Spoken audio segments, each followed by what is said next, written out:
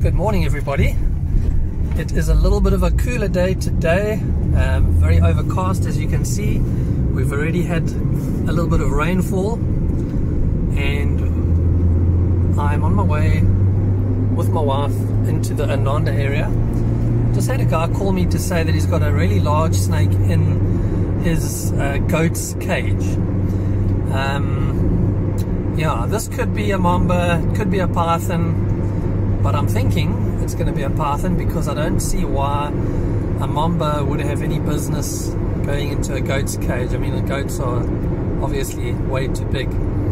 But pythons regularly go into goats' cages and, and often will actually eat a goat. And he says that the snake has eaten something. So maybe he did have some smaller baby goats in there. Maybe it's eaten a goat. I'm not sure. Anyhow, we are on the way and should be there in the next 20 30 minutes. Let's go check it out.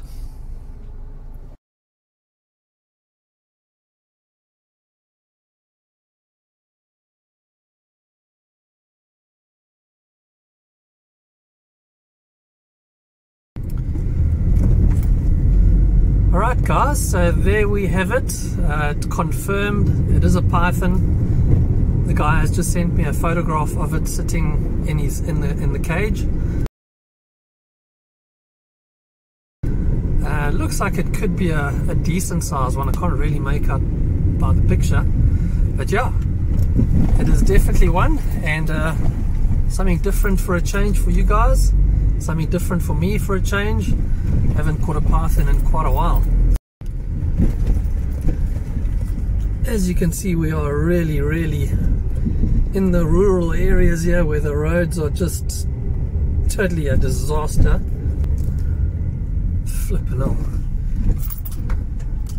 In this country, we don't drive on the left hand side of the road, we drive on what's left of the road. Flipping hell. Jeepers. And I must tell you guys, I don't charge for these call outs in the rural areas. Um, if they're black mambas and pythons, uh, if it's black mambas, it's because people's lives are in danger, you know, if the snake is in the house. And if it's a python, I'm doing it for free because pythons are highly protected. The people out here don't have money. So if you're going to tell them you're going to charge them a fee to come out, they'd rather just kill it. We don't want that. So I do these call outs for free, but they are always miles and miles away, you know, got to travel like to get to them and then get back home. You've done like 80, 90, 100 kilometers, maybe even more. You haven't been paid a cent, so it's come out of your pocket. Uh, but yeah, we do it for the the well-being of the people and the well-being of the animal as well. Um, you just got to do what you got to do. And uh, as you can see, the car also um, takes a beating, especially when you're coming In out. 300 meters, continue straight. When you're coming out to these areas, the roads are so bad. Often you have to go on dirt roads as well. Your shock absorbers take a pounding, your tires take a pounding. Uh, it's just not good for the car. So yeah, um, as much as I don't like doing calls where, Continue straight. where I'm not being paid, unfortunately we we have to do them from time to time. Anyway, let's get there. Let's catch a python. You got pedestrians of a different kind to watch out for you. the people out here might be living in pretty harsh conditions without electricity and without water and all that kind of thing, but I can tell you now they live in the best part of the country. Slight right, then. Continue straight. The views and the scenery around you are just amazing.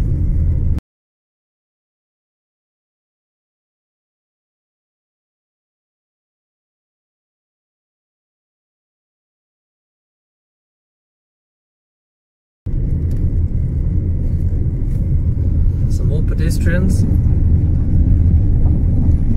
Hey goats. That is the Inanda Dam. Like I said, the scenery out here is flippin' amazing. And we're almost there, guys, about a minute away, apparently, according to the GPS. Okay, guys, we have arrived at the person's home, and he's going to take us through, show us where the python is. Let's just grab a few things here, babe. Um, oh, I've, I've just one of those black bags, the big ones.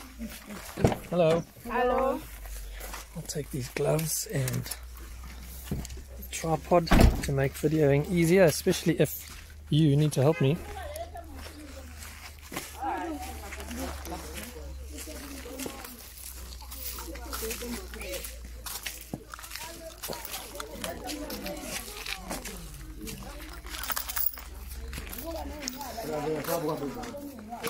Just to let you guys know, I'm probably going to bleed now.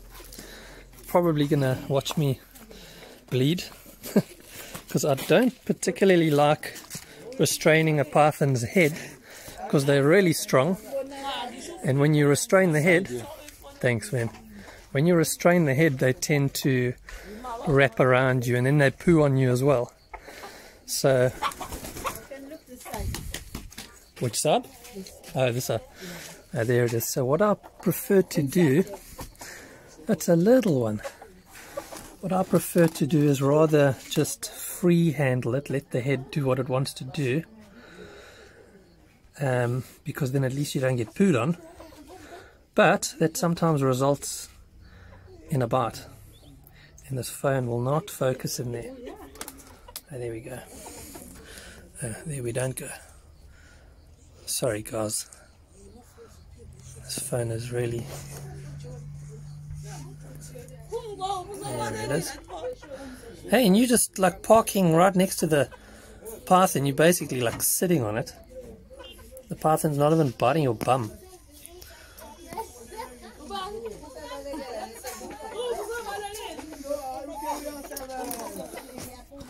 So if if I open here, if I if I open here, the goat's gonna run out. Is it's okay if the goat comes out. Yeah, It's okay, yeah, it's okay. Okay.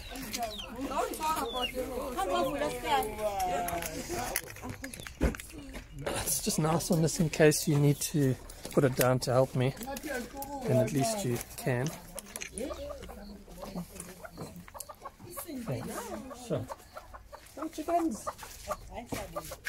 Okay. So, some chickens. Let's put the gloves on for what it's worth. I mean, I don't mind getting bitten on my arms, you know, in the meaty parts, but I don't like getting bitten over the hands or my fingers, because that's kind of sore. Especially a snake of this size. Not that it's big, it's quite a small one. Come. Come.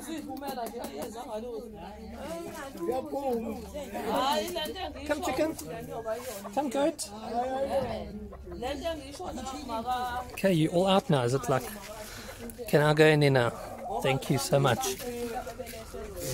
Hello, Python. What have you been eating here? That looks like a chicken. You've eaten a chicken, haven't you?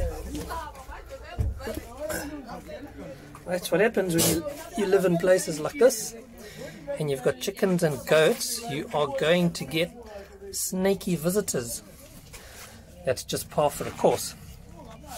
Okay. And you seem quite chilled. You're not even huffing and puffing at me. I guess you've been in the cage with um, goats that have been moving around and standing on you and sitting on you. Hey? Is that why you're okay?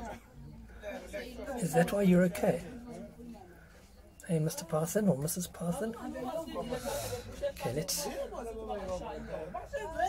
let's get you out of here. All right. Not gonna like me in a minute. It's all friendly with me now. But it's gonna be uncomfortable with that meal in its belly. And with me carrying it, it's gonna be trying to get away. And then it's probably gonna start biting. But to be honest, I'd rather be bitten than get pooed on.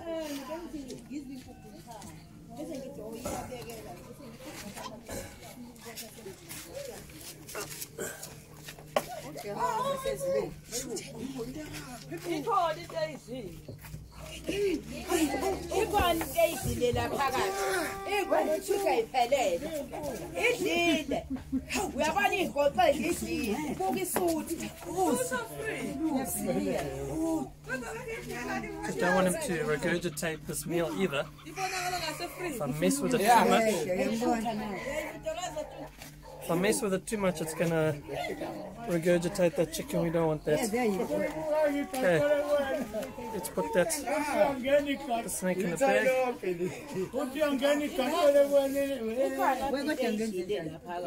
Yeah, he's already trying to regurgitate. Let- Get him into the bag quickly.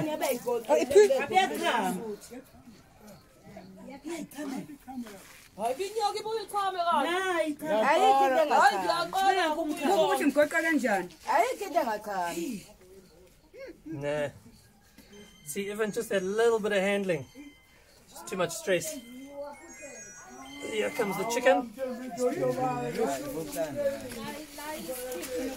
No, it wasn't even such a big meal, but unfortunately, you put these guys under the slightest bit of stress after eating, and they just regurgitate. I can tell you now that's definitely a chicken. It's too big to be a rat, too small to be a goat. yeah, there comes the chicken legs.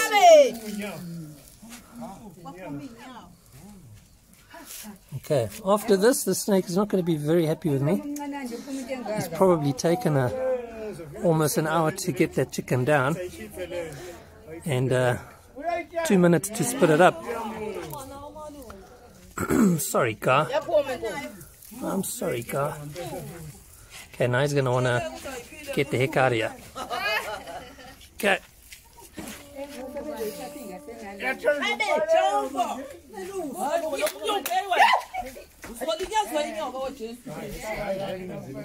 ebenuku bayike isiluleke besindwa yile nkukhu phela bekungahambeki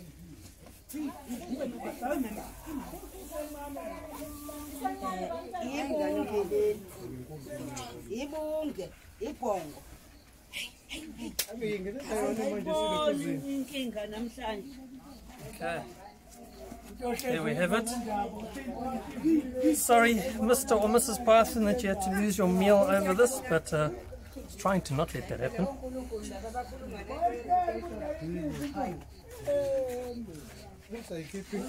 Right, let's go find another new place for this guy to live, where he's away from people, and where he's more safe.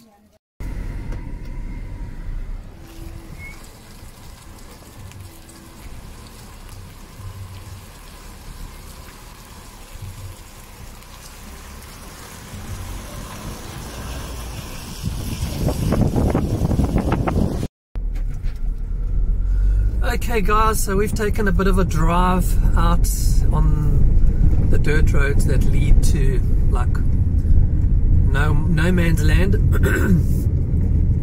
so yeah, there's a lot of area here where we can release the snake where he's you know far away from people, and he should live out the rest of his life without too much of a problem. I should hope. So just driving around looking for the perfect spot and then we shall do the release.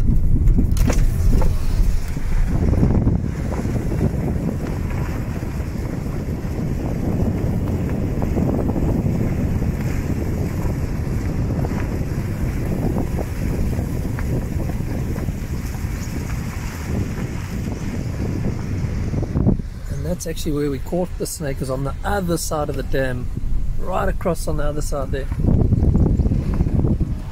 this side there's like nobody living here for a long long time or a long long way should I say. It's very remote out here. As you can see absolutely awesome place to release snakes like pythons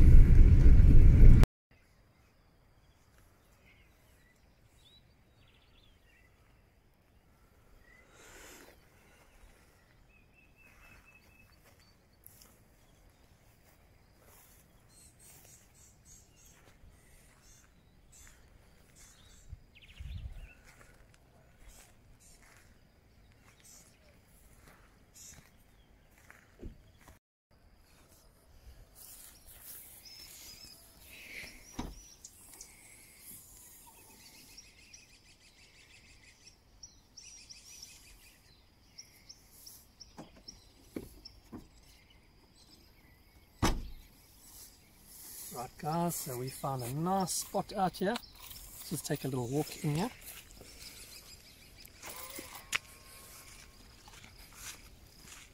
And give it a new home.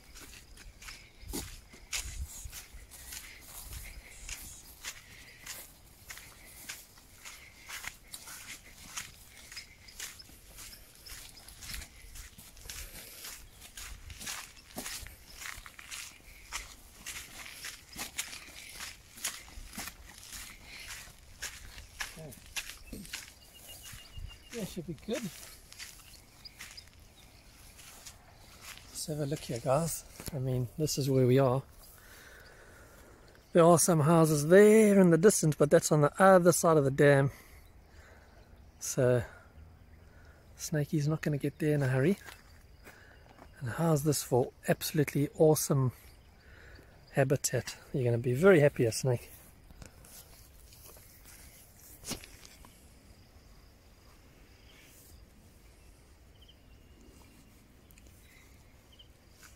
You're hissing at me.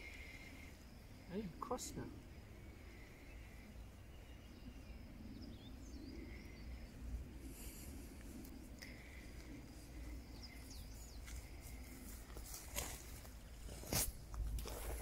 Come on. You're free now. You are free. Come check. Come look where we're putting you. I'd be excited if I was you.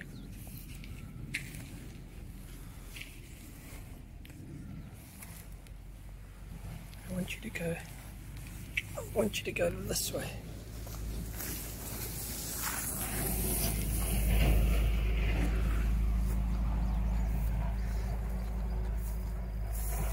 I can just see the plants moving. I can't hear it. I can't see it. These guys just disappear like I cannot believe.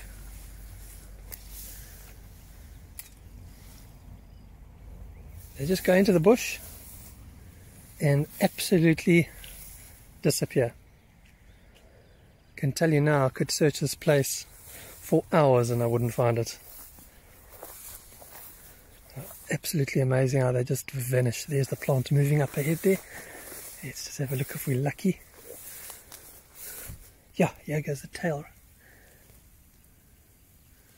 There it goes. That was lucky. Where's the rest of you? It's amazing, you can hardly even hear it. I'm keeping as quiet and as still as I can. You just can't hear them. Come on, go.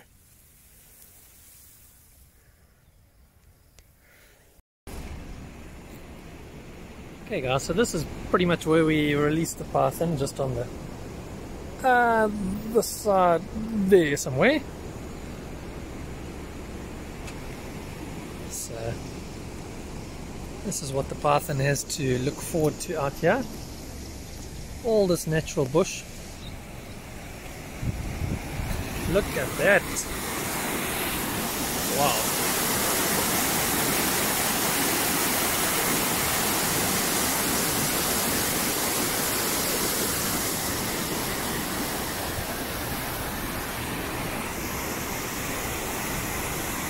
Absolutely awesome, eh guys?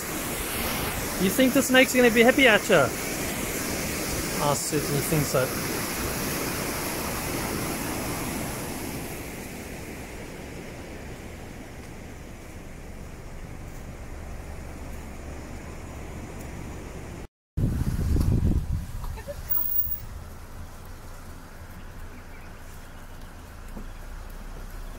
Come on, dudes. Roadblock.